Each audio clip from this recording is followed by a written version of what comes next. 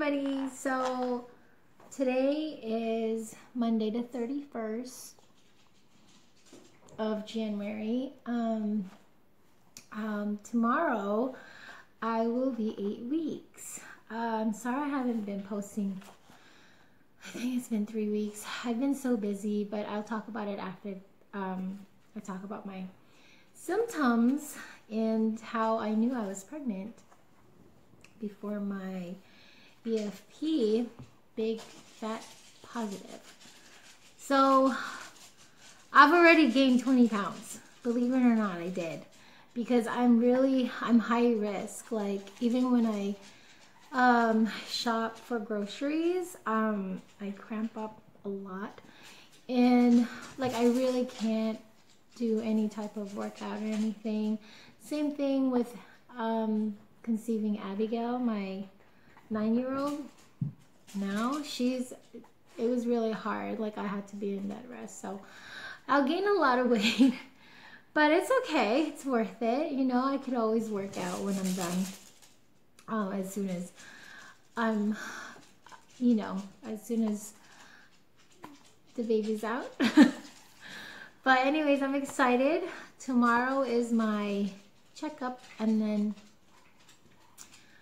Wednesday is my ultrasound. The girls are so excited. Like, Abby kisses my belly goodnight. I'll be like doing something, washing dishes or just kind of cleaning up a bit, folding clothes or something. And Carly would just tap me from the back and kisses me, and kisses my belly. Like, oh my God. They, they are so in love with this baby. And I'm just, I'm still hoping and praying that, you know, this baby will stay because I'm still really early and I'll keep you guys posted on the ultrasound and all that stuff. But anyways, yeah, my girls are so happy. Will is so happy. That man's been working crazy though because he wants to get a family car now. And um, yeah, he he works like crazy. I don't know any men in my entire life that ever worked like as hard as he does. Like he works from 8 a.m. to like 4 a.m. sometimes, sometimes 12 to like 2 a.m. He's he just wants to make sure we are covered before he dies. He's like, I want to make sure, you know, my girls have everything that ever wanted in life before he dies. So he's crazy. And I'm like, no, we want you home too. you know, we we want him to have his health is more important to us too than money. But he's like, I know, but you know, he loves his girls and that's what he does, you know. But when it comes to his girls, like if there's something like an event or something with the school and all that stuff, he will take off for both girls. And I love that about him. He loves his babies. Anyways, sorry, I'll talk about that after this. Okay, here we go. December 19th, 2021 was my ovulation day. And I know when I'm ovulating, obviously, because of my chart, my LH strip. Um, I was cramping on my left side in the afternoon and lower back pain all day, all night. Okay, it, it's so uncomfortable to where I just want to lay down all day. And that's my symptom for my ovulation day. And it's funny because when I didn't track my LH strips, like I didn't use those, I didn't know, I just thought I just had like a back pain and stuff, but that's my symptoms ever since I started um, you know, doing the, taking the ovulation strips. Okay, so December 20, uh, one DPO. So by the way, again, every time I make these videos, I just want to make sure you guys aren't watching this because this, I mean, it's only for women who are in their TTC journey. And, you know, like if you guys don't want to hear anything about my body parts or anything about me, please don't watch this video. It's only for a woman who wants to like watch symptoms because when I was trying, I was actually, I was, I would binge watch these videos, you know, but um, I don't recommend you watching this too, just because honestly, when I used to watch it, I would like, it's called Symptom Spot. And again, everybody's different. Like, I swear, I, I'm, I'm like, oh my God, maybe I'm pregnant. And I would create these symptoms and I was never pregnant. So all I'm saying is, if you're to watch this, please don't, don't compare yourself to me just because everyone's different. And, you know, some of you might have these symptoms and some of you won't. But I just felt like when I was watching them, I would create it and it wasn't real for me. But I mean, it's still fun to watch, right? um, so that's why I'm making it. Um, if you know me, if you're my family or friends, or you don't want to hear about my symptoms when I found out, before I found out I was pregnant, please don't watch these because it's a lot of TMI. Okay. Anyways, so like I said, 1 DPO, December 20th. My nipples are sore. I swear, even when I was pregnant last month, my nipples were sore. And that's how I knew I was pregnant. Every time I, I'm not pregnant, my nipples are never sore. Like, so I kind of knew, I was like, oh my God, maybe I, I am again. Because I was like, why am I pregnant? Sorry, my dogs are barking. Okay, um, so this is my number one symptom. It's always my nipples, like my breasts. It's always tender. And on December 21st, 2 DPO, nothing really changed. It's it's the same thing. Like wearing my sports bra, I'm like, yeah, it's the same as last time when I got pregnant. It was an early miscarriage. And then, so yeah, it was really sore. Like, not just by walking, but like my bra is just uncomfortable, my sports bra. December 22, 3DPO, still sore. I'm just gonna stop saying still sore because that's my symptom from 1DPO all the way up to now. And now my breasts are so big and it's so swollen. I, I'm sorry to say this, but it's true. Like, again, like I said, don't watch this video if you're not here for that. Um, so 3DPO, it was still sore, um, till this day. And then I was constipated that day. And then December 23rd, 4DPO, my temperature, my temperature dropped. So, and it says I can't cough really hard. It was so weird. My lower abdomen felt so tight. It was so sore, I had to stop myself from coughing. But it was only like a few seconds. Like, I had a cough a little bit. Like I was coughing, and then um, it was so tight. Like someone just like pulled something out of me, and I, I had to like, like stop myself because you know when you cough, you use your your abdomen right to tighten. It tightens. So I had to stop myself from coughing because it was so tight. It painful. And I'm gonna post my BBT here. Again, I wasn't too crazy about my BBT just because my it was breaking already. Like I needed it's really old. I didn't buy a new one. But I wasn't too crazy. Like, I didn't really obsess about it. I was just like, whatever, if I forget it, I forget it. Okay. As you can see, there's not that much um, BBT charting. Um, December 24th, 5 DPO. I woke up with a headache and my traps are really tight. Like my traps were so tight, I was like squeezing them. And that was my symptom again last month. Like I already knew. I was just like, you know, you just know, okay? And my uh, first response was very, very faint. Um, first response was very faint, but maybe it was just one of those evap indents line because that's what happens to me. That's what happened to me a few times. But again, I'm like, I could be because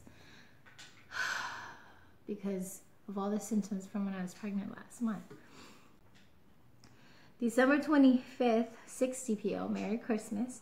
I was bloated all day. My throat hurts, coughing all day, especially at night.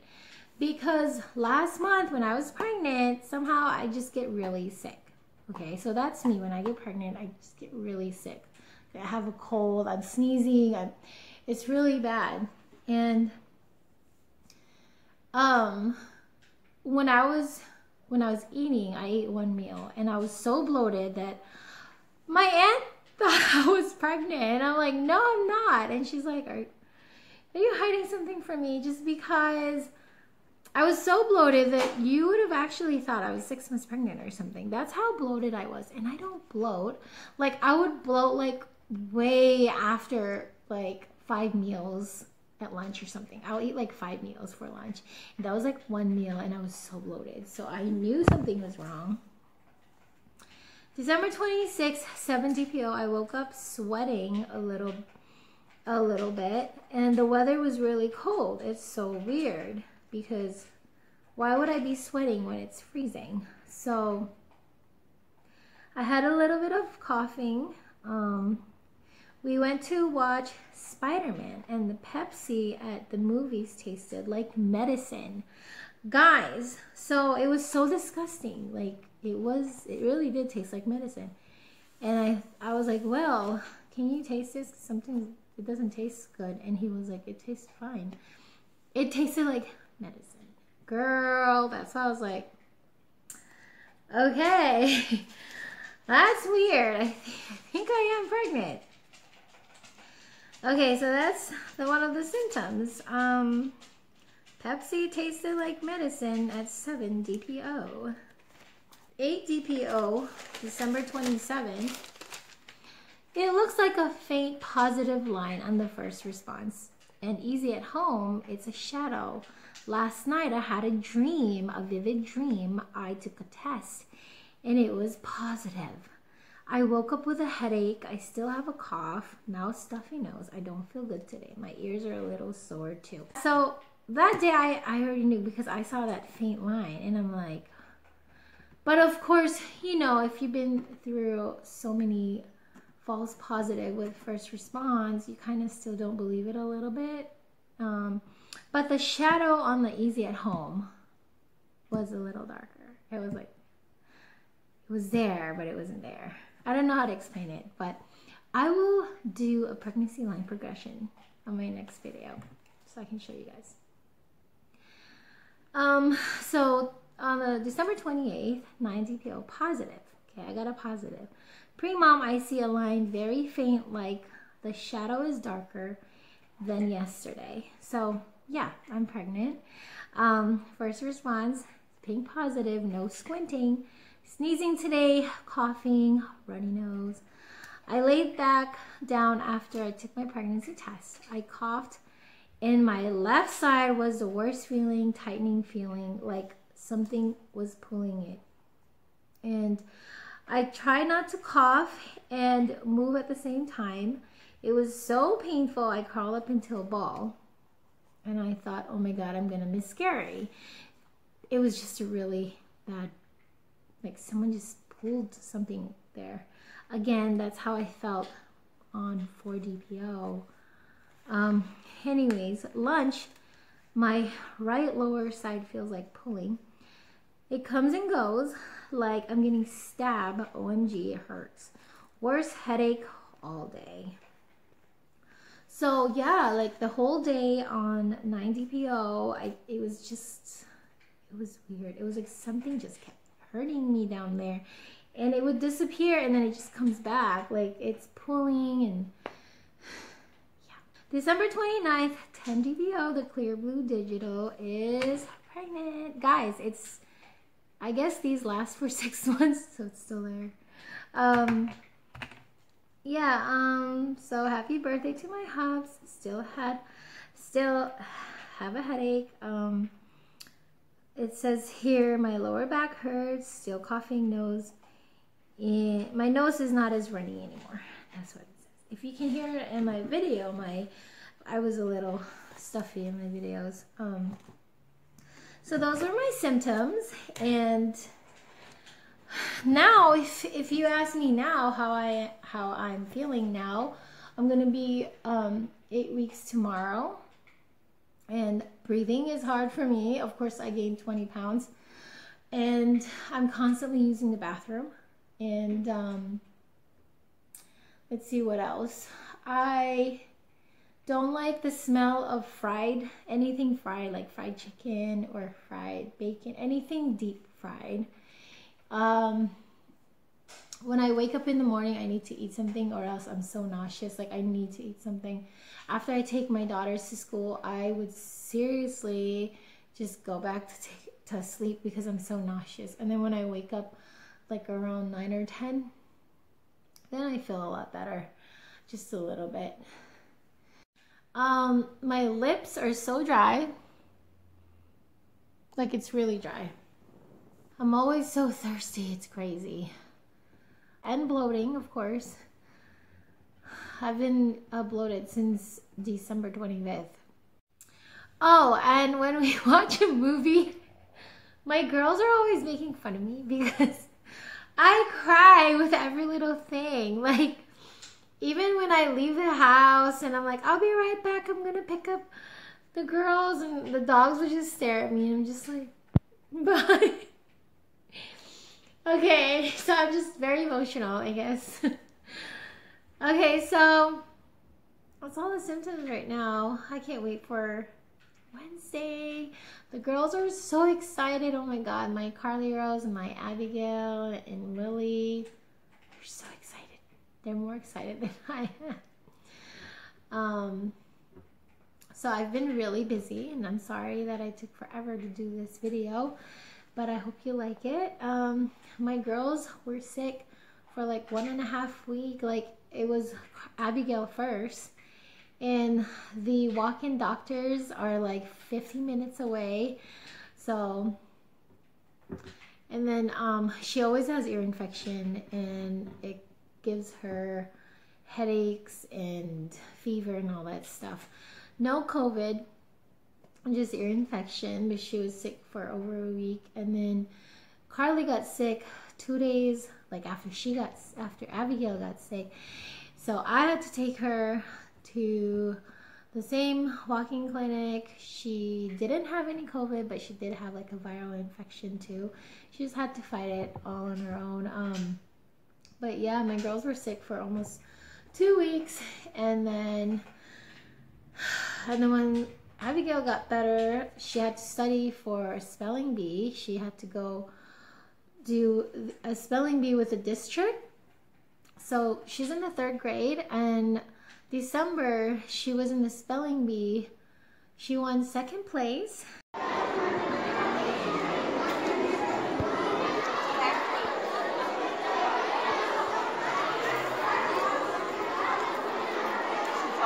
And uh, the first place was a fifth grader. And so both of them had to go to the district and they had lots of fun.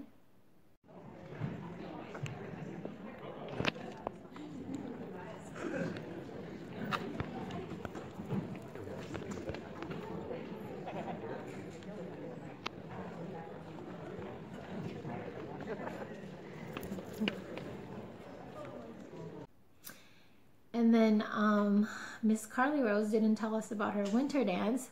So her dad had to, uh, he took off that day because he wanted to take us out. He's been working like crazy. So when, whenever he does have time, it's like, you know, he wants, he takes us out and stuff. And then that day we had to shop at the mall for her outfit. Like, she, oh God. But she's so good. Like, she's like, you know, try on all the like she tried on like four or five outfits and and she picked one. She got her sandals and everything. I'm gonna post pictures. She's so pretty. She looked like she's 18. She had so much fun with her friends. Um, what else happened? Uh, and then here's also an update on the pool.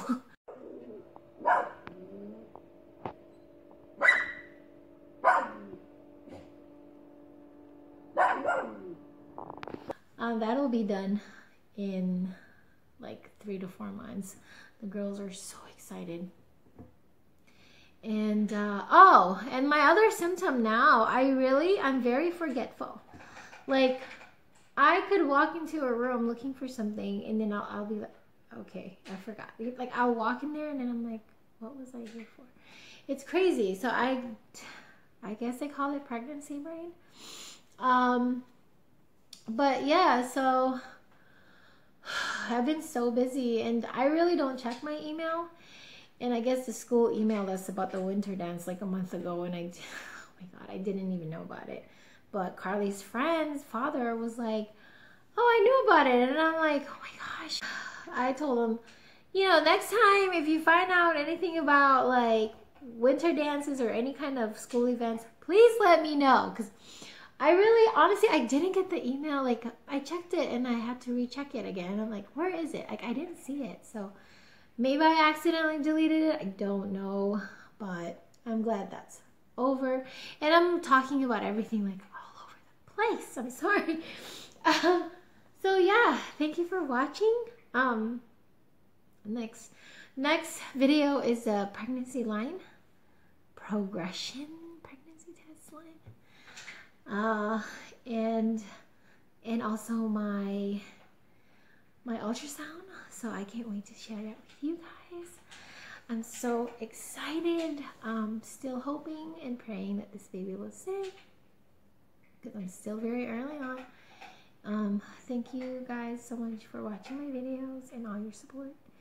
And for those of you who are trying to conceive, I'm thinking of you guys and praying for you guys because I know how hard it is.